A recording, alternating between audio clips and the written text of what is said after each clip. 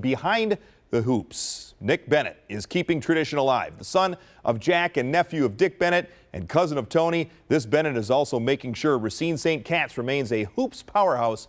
Rod Burks is there.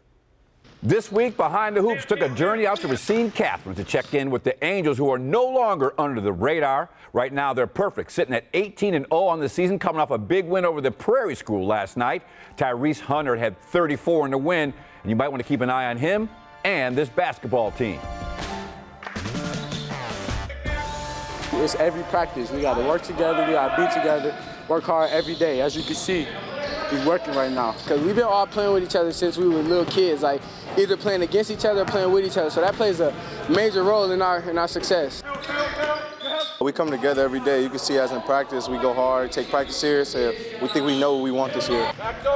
There's enough outside distractions with social media, with you know just people around town uh, talking about them. That stuff's all nice. I know people mean well, but we try to talk about how our, our locker room, our practices, they're sacred. They're sacred to us. They mean something.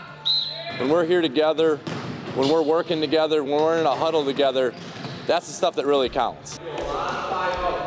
I love him. He, he pushes us every single day.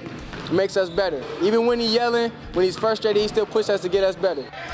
Yes, sir. I like to get physical. You got to lift, and you got to have that dog mentality, for real. I'm just trying to bring in my best every time, every practice, every game.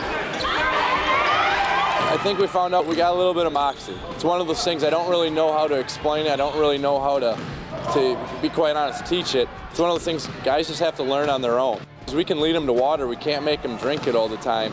And uh, we've got a group of guys that when they're a little thirsty, they'll go out and search for the water themselves. They'll go out and find a way. Everybody knows the ultimate goal, but we really take it game by game and practice by practice.